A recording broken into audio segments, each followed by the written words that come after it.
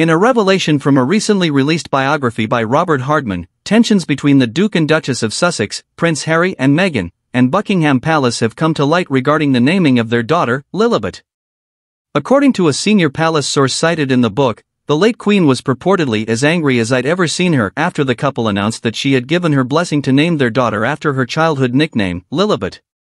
The biography suggests that Buckingham Palace declined the couple's requests to issue a statement supporting their version of events. Reportedly, palace staff were intrigued by Prince Harry's memoir, Spare, particularly focusing on what had been omitted from the narrative. A member of the staff is said to have privately recalled the Queen's strong reaction in 2021 to the Sussexes' announcement.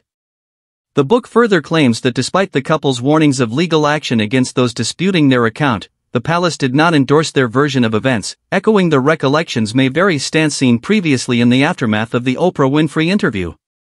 Allegedly, threats of legal action were not pursued, and the anticipated libel action against the BBC did not materialize.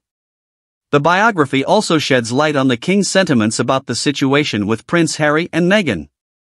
Described as extremely sad, the King reportedly feels a sense of exasperation, having done what he can, and is now focused on his responsibilities as monarch. The king has purportedly tried to listen but has resolved to just getting on with my life while giving Prince Harry space. Additionally, the book reveals that the Prince of Wales found a comment in Prince Harry's memoir about royal men marrying someone who would fit the mold to be the lowest of the low. This potentially refers to Prince Charles's own wife, Catherine.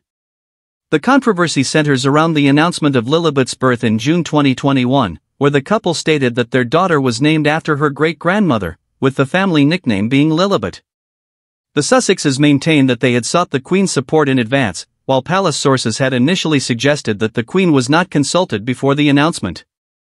The conflicting accounts have added fuel to the ongoing saga between the Sussexes and the royal family.